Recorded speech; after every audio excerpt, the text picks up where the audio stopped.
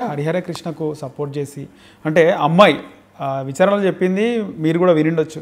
కాకపోతే ముఖ్యంగా అమ్మాయి అమ్మాయి ఒకవేళ ఆపగలిగే అమ్మాయికి ఉంది ఆపగలిగే అవకాశం కానీ అమ్మాయి ఆపలేకపోయింది.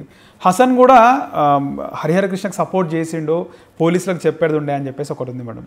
వాళ్ళిద్దరిని కూడా రిమాండ్కి పంపించారు. సో వాళ్ళకు ఎలాంటి శిక్ష పడుతుంది అంటారు మేడం? యా. ఇప్పుడు ఈ హసన్ అనే వ్యక్తి నేరం చేశాడు హరిహర కృష్ణ అని తెలిసి కూడా చెప్పలేదు చూడండి. దాన్ని హార్బరింగ్ ఆఫ్ అఫెన్స్ అంటారు. Section two one two of IPC ప్రకారం అతనికి అందులో శిక్ష పడుతుంది. ఐదేళ్ళ వరకు శిక్ష పడవచ్చు అతను ఎందుకంటే తెలిసి కూడా అతను వెంటనే పోలీసులకి చెప్పలేదు. సో అతను కూడా శిక్ష పడే అవకాశం అవకాశాలు కాదు హార్బరింగ్ ఆఫ్ అఫెన్స్ కింద.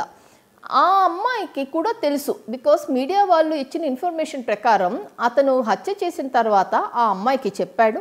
చెప్పిన తర్వాత ఆ అమ్మాయి ఎందుకు ఇట్లా చేశావు? వేరే రకంగా మాట్లాడుకొని సెటిల్ చేసుకోవచ్చు కదా అని చెప్పేసి పదిహేను వందల రూపాయలు అతనికి ఇవ్వటం జరిగింది. అతను అక్కడి నుంచి వరంగల్లో ఖమ్మమ్మో ఏదో వెళ్ళటం జరిగింది. రెండు మూడు రోజుల తర్వాత ఇది మరీ పైకి వస్తుంది. మీడియా అందరూ కంప్లైంట్స్ ఫైల్ చేస్తున్నారు. వాళ్ళకి సంబంధించిన వాళ్ళు నవీన్కి సంబంధించిన వాళ్ళు అని తెలిసిన తర్వాత వచ్చి సరెండర్ అయ్యాడు అతను. ఆ అమ్మాయి కూడా ఇది హార్బరింగ్ ఆఫ్ అఫెన్స్ అదొక్కటే కాకుండా వీళ్ళిద్దరూ కలిసి డిస్ట్రక్షన్ ఆఫ్ ఎవిడెన్స్ కూడా చేశారు. అంటే నెక్స్ట్ డే వాళ్ళు అదే సీన్కి వెళ్ళి అఫెన్స్ జరిగిన సీన్కి వెళ్ళి ఎక్కడైతే ఏ స్థలాల్లో అయితే అతని పార్ట్స్ పడేశారో ఆ విక్టిమ్ ఒక బాడీ పార్ట్స్ పడేశారో అవి కాల్చే ప్రయత్నం చేసి దాన్ని డిస్ట్రక్ట్ చేసే ప్రయత్నం చేశారు which is very serious offence again so దాని ప్రకారం వాళ్ళకు కూడా శిక్ష పడుతుంది ఇద్దరికి. సో హరిహరన్కి గనక మీరు మాట్లాడితే capital punishment can be awarded but ఇవన్నీ ఏంటంటేనండి మనం హ్యాంగ్ పడే అవకాశం ఉందా మేడం? హ్యాంగ్ చేసే అవకాశం ఉందంటారా? ఉంది అవకాశం ఉంది. కానీ ఇవన్నీ ఏంటంటే the evidence which is placed on the bench ఇప్పుడు కోర్టుల మధ్య పెట్టే ఎవిడెన్స్ ఎవిడెన్స్ పెట్టిన తర్వాత ఎంతవరకు సాక్షులు దానికి చెప్పగలుగుతారు? ఎంతవరకు ప్రూవ్ చేయగలుగుతారు అని? ఫర్ ఎగ్జాంపుల్ ఇప్పుడు అతను ఒక స్టేట్మెంట్లో ఎక్కడో చెప్తున్నారు నాకు నాకు శిక్ష పడదు నేను వచ్చి సరెండర్ అయ్యాను డైరెక్ట్ ఎవిడెన్స్ లేదు ఇది అది అని చెప్పి అన్నారు చూడండి. అది it is not at all true direct evidence circumstantial evidence అంటే గనక అతను నేనంతటి నేను సరెండర్ అయ్యాను నాకు శిక్ష పడదు అని చెప్పటం అనేది అది అది ఇట్ ఇస్ నాట్ కరెక్ట్ అండి. బికాస్ టూ థౌజండ్ ఎయిట్లో Shivaji alias Dadiya Dadiya Shankar Shivaji alias Dadiya Shankar versus state of Maharashtra ఒక కేసు జరిగిందండి. అందులో సర్కమ్స్టాన్షియల్ ఎవిడెన్స్ బేస్ చేసుకొని ఆనరబుల్ సుప్రీం కోర్టు వారు capital punishment death penalty impose చేశారు అక్యూజ్డ్కి so అతనికి డెత్ పెనాల్టీ వచ్చే అవకాశాలు ఉన్నాయి keeping in purview that this is this is one among the rarest of the rare cases ఇంకో కేసు కూడా ఉందండి. Prajit Kumar Singh versus state of బీహార్లో మర్డర్నే గనక బ్రూటల్గా అంటే ఒక ఒక సొసైటీలో ఒక ఎడ్యుటేషన్ క్రియేట్ చేసేంత విధంగా గనక ఒక మర్డర్ని చేస్తే అది కేవలం మర్డరే కాదు ఆ murder which comes under the rarest of the rare doctrine అని చెప్పేసి Prajit Kumar Singh versus state of బీహార్లో చెప్పడం జరిగిందండి. అయితే ఈ డాక్టరీన్ ప్రకారం ఫస్ట్ ఉరి శిక్ష వేసింది K Kehar Singh versus Delhi administration అండి. అందులో మన ఆనరబుల్ ఎక్స్ ప్రైమ్ మినిస్టర్ గారు ఇందిరాగాంధీ గారు శ్రీమతి ఇందిరాగాంధీ గారి అసాసినేషన్ కేసులో Kehar Singh versus Delhi అడ్మినిస్ట్రేషన్లో rarest of the rare case కింద అతనికి ఉరిశిక్ష చేయటం జరిగింది. సో ఇందులో కూడా హరిహర కృష్ణకి అవకాశాలు ఎక్కువగానే కనిపిస్తున్నాయి. But it is also again based on the record which is placed in front of the bench and the evidences that can be produced అండి మేడం ముఖ్యంగా ఇలాంటి కేసులు మీరు గతంలో చూసిండొచ్చు. అంటే ఇలా మర్డర్ చేసిన ఘటనలు మీరు చెప్తున్నారు. ఆ సిచ్యువేషన్లో ఎలాంటి శిక్షలు పడ్డాయి మేడం మోస్ట్గా ఇలాంటి సిచ్యువేషన్స్లో లైఫ్ ఇంప్రిజన్మెంట్స్ పడుతున్నాయండి ఎందుకంటే India basically is a land of emotions అండి land of emotions sentiments and ఎప్పుడూ మనం లైఫ్ స్పిరిట్ ఇప్పుడు మన ఇండియన్ కాన్స్టిట్యూషన్ చూస్తున్నా preamble preamble of Indian constitution చూసినా దానికి అందరికీ చదవటానికి ఇది సొసైటీ దీన్ని బట్ దాంట్లో కూడా నేను ఇంగ్రీడియంట్ ఆఫ్ స్పిరిచువాలిటీ ఉంటుందండి. For example equality social justice fraternity ఇవన్నీ ఏంటంటే మనకు స్పిరిచువాలిటీలో కొన్ని ఇంగ్రీడియంట్స్. అంటే అది అప్పట్లో తెలిసినా తెలియపోయినా ద స్పిరిట్ ఆఫ్ లైఫ్కి అంత ఇంపార్టెన్స్ ఇచ్చారు.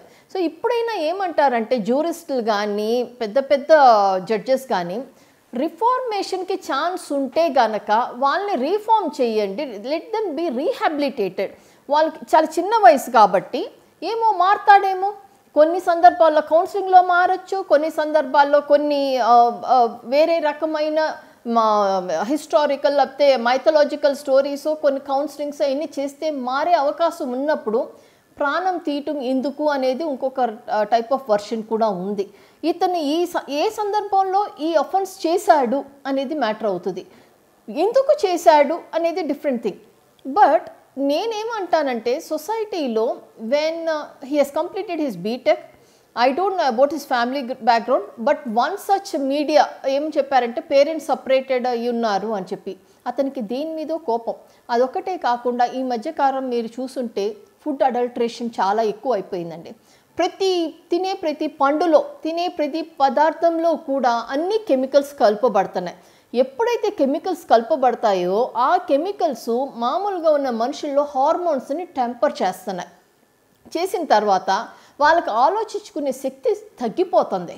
ఇప్పుడు గతంలో మనకి జాయింట్ ఫ్యామిలీస్ ఉండే ఇప్పుడు న్యూక్లియర్ ఫ్యామిలీస్లో ఇద్దరు కూడా కలిపి ఒక రూఫ్ కింద ఉండలేని పరిస్థితి. ఒకరికి ఒకరిని ఇనే ఒక పేషెంట్స్ కూడా ఉండట్లేదు. అంత ఇరిటేషను ఇంపేషెన్స్ అంత మనిషికి ఎనర్జీ లెవెల్స్ చాలా లో అయిపోతున్నాయి. As immunity reduces even energy లెవెల్స్లో అయిపోతున్నాయి. దీనివల్ల ఆలోచించుకుని వితక్షణ జ్ఞానాన్ని కోల్పోతున్నారు. So food adulteration also contributes majorly for such things అండి.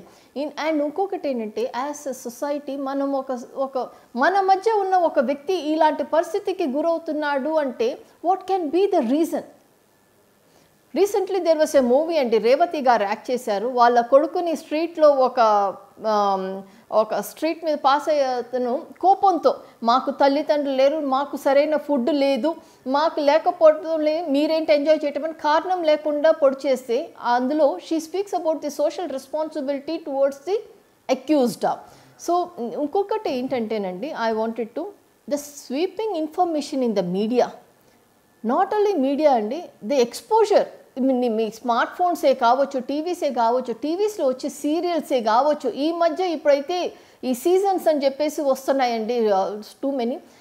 దాంట్లో వాడే లాంగ్వేజే కావచ్చు. దాంట్లో చూపించే ఒక ఒక విలన్ని ఒక హీరో చేసి చూపించడమే కావచ్చు. It's all very fascinating. వీళ్ళు ఆడే ఆటలు ఫర్ ఎగ్జాంపుల్ వీడియో గేమ్స్ ఆడుతున్నారు షూటింగ్ గేమ్ ఆడుతున్నారు.